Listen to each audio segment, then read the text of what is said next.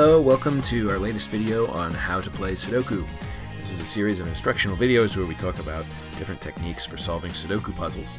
And today uh, we're going to talk a bit about a slightly more advanced Sudoku technique uh, that uh, I like to refer to as solving from multiple directions.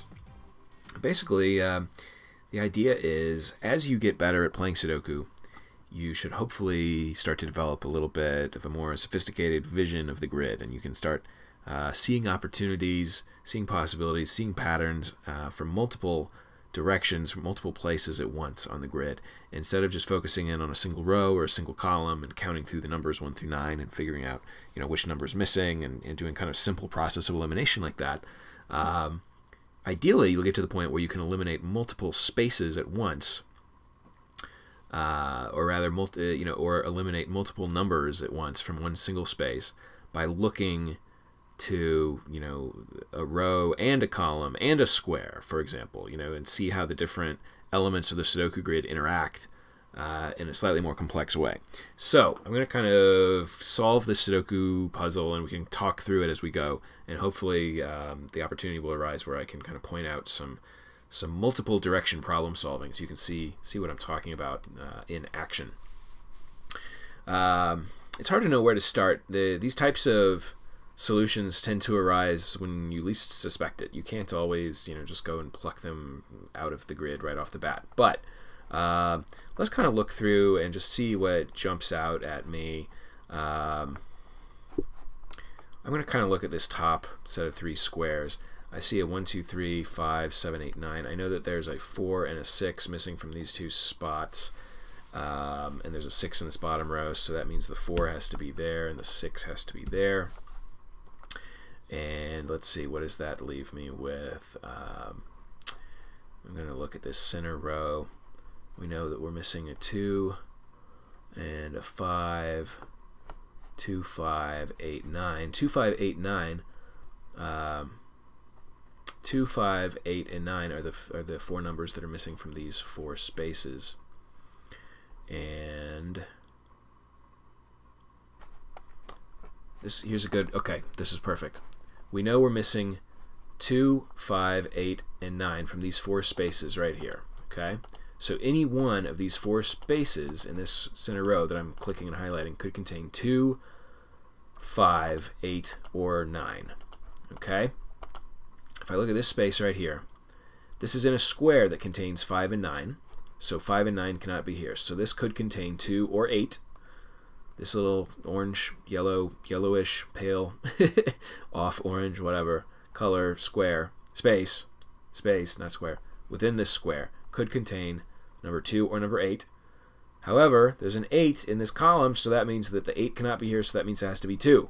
See what we just did? We looked for uh, multiple directions at once. We looked within the square that this space is in, and we also looked within the column that contributes into that uh, space.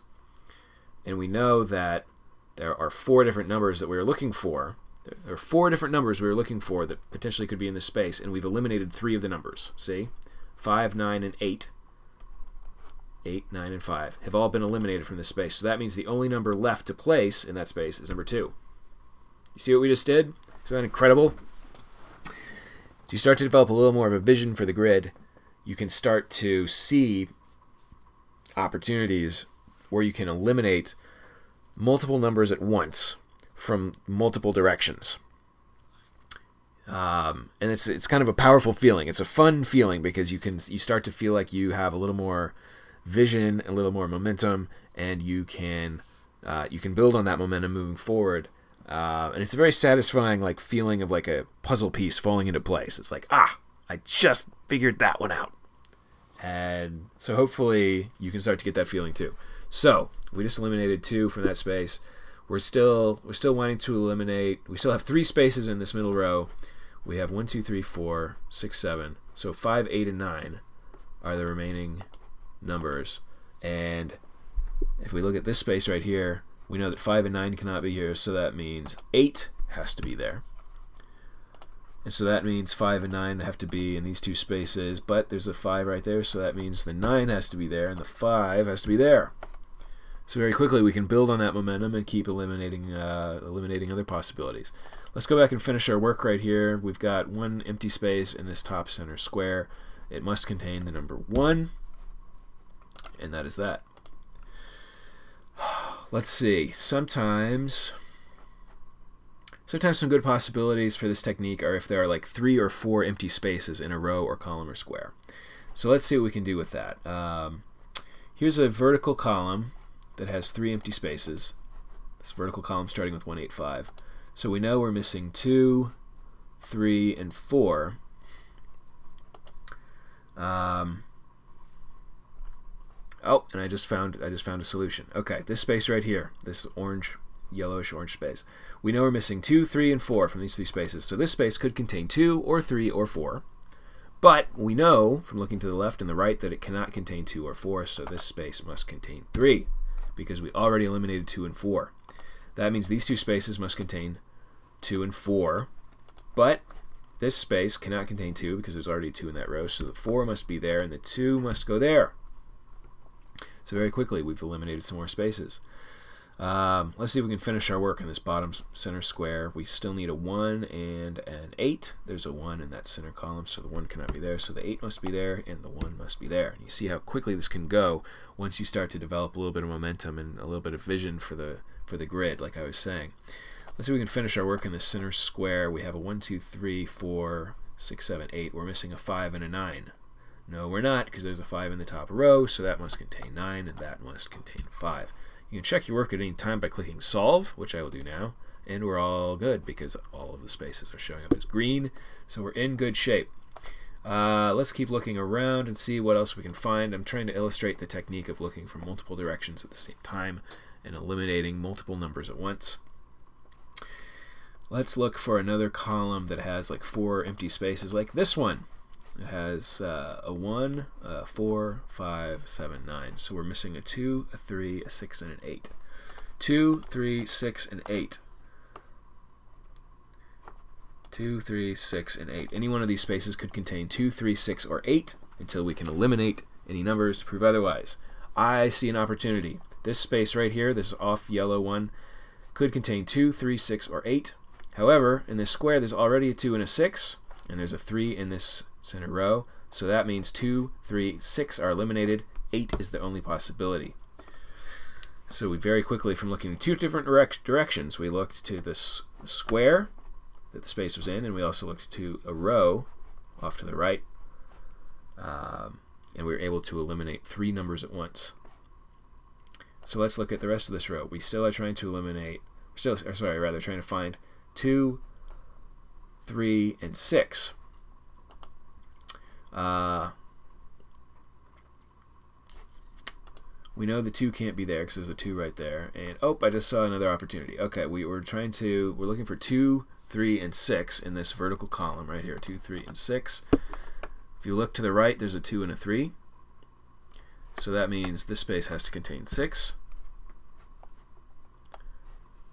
And we know that there's a 2 in this square, so that cannot be a 2, so that must be a 3, and that means that this one remaining space is 2. So very quickly, again, you can see how quickly things can fall into place if you're able to eliminate multiple numbers at the same time by looking at multiple directions at the same time. Let's see what else we can figure out. Let's look at this lower left square. There's one, two, three, four empty spaces, and we know we need, we're missing, let's see, we, we already have the numbers one, two, three, four, and 8, so we're missing 5, 6, 7, 9. 5, 6, 7, and 9. Uh, I see another opportunity here. Um, any one of these spaces could contain 5, 6, 7, or 9. This space, let's focus on this yellow space. There's a 5 here, so it cannot contain 5. There's a 7 and a 9, and also another 5, but just for the sake of, you know, humor, humoring me, we can look at 5 from this direction and 7 and 9 from this direction. So we've eliminated three numbers for this space. There's only one number left that could possibly be there, and that is number 6. So now we still need to eliminate 5, 7, and 9, figure out where 5, 7, and 9 go within this lower left square. And at the moment we're kind of stuck because there's a 5 here, so the 5 can't be there. There's a 9 here, so the 9 can't be there. But at the moment, we're kind of stuck. Uh, let's see if we can finish our work with this center row. We know we're missing number 1 in this space. Let's fill it in. Let's check our work, and we're good. We're golden. Or rather, we're green. All of the spaces that we filled in are correct for now. Let's see what else we can figure out. Let's look at this far right column just for the heck of it. Uh, we currently have 1, 2, 3, 4, 6, and 9. So that means in this column we still need to solve 5, 7, and 8. Uh, oh, this is so perfect. This is a perfect example of this technique. I'm so glad we're doing this. This is the perfect example. Okay, these three spaces here. These three spaces uh, should contain in some order the numbers 5, 7, and 8. We can see right now that there's an 8 in this lower right square. So these two spaces cannot contain 8.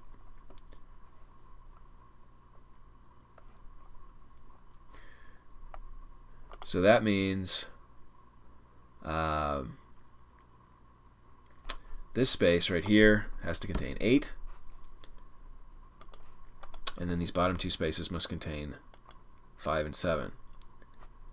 Um, so that's a good example of how you might have a blank space in a different square, but if you can eliminate multiple squares, or sorry, multiple spaces within one square, that will give you enough information to be able to fill in a space in a totally different square without having to scan all the side rows and columns. Um, so just by looking at which spaces are empty and how they align within the squares that you're looking at, you can often uh, you know, find some solutions that way. Let's see what else we can find here. I'm just looking at this square right now. We're, we know we're missing a 1. Uh, I just very quickly can see we can solve this because there's a 1 in this left column, so the 1 can't be in any of these spaces, so the 1 can be here. We still need a 5, 6, and 7. Um, this space right here cannot contain 5 or 7 because they're in the same row, so that means that this must be 6. And then that cannot be 5 because there's a 5 there, so that must be a 7, and then the 5 goes here just by simple process of elimination. So finishing our work, this top row must contain a 1 in that space. And again, we're missing a 9 right there, and then this square, the only number missing is 3. Let's check our work, and we're good to go. Everything's green. So, hopefully this technique has been helpful for you. I found some, what are hopefully some good, vivid, you know, memorable examples of how to solve spaces from multiple directions at once, eliminating multiple numbers at once, and hopefully developing a slightly bigger vision, broader vision of what the Sudoku grid is all about so that you can build momentum faster and solve Sudoku puzzles faster. Thank you for listening. As always, enjoy playing Sudoku.